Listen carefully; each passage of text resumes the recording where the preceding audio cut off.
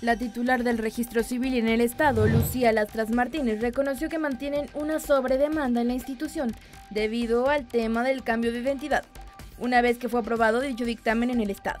Que esta semana hasta nos, sobrepasó la demanda, porque ese trámite sí se hace en la dirección. Ya hay muchos chicos y chicas, sobre todo jóvenes, que han acudido a la dirección a solicitar este, su cambio de identidad de género y la verdad creo que este es un problema muy sensible, un problema que está eh, ayudando a muchas personas, que ha sido un, un, problema en su vida que hoy afortunadamente estamos ya resolviendo.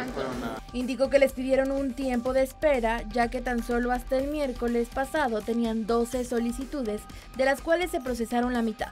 Estamos adecuando el procedimiento para agilizarlo, porque no pensamos que, hubiera, que fuera a haber tanta demanda, pero este, Estamos esperando el lunes un grupo ya de varios chicos que no. El cambio de identidad de género era un tema que no era muy socializado y sobre todo un tema que tenía que llevarse a los tribunales también. Solamente un juez podía resolver sobre el cambio de identidad de género.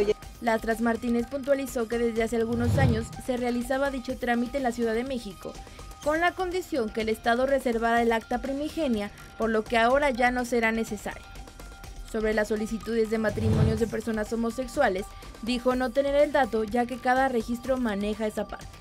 Con imágenes de Luis Ustaita, Fernanda Padilla.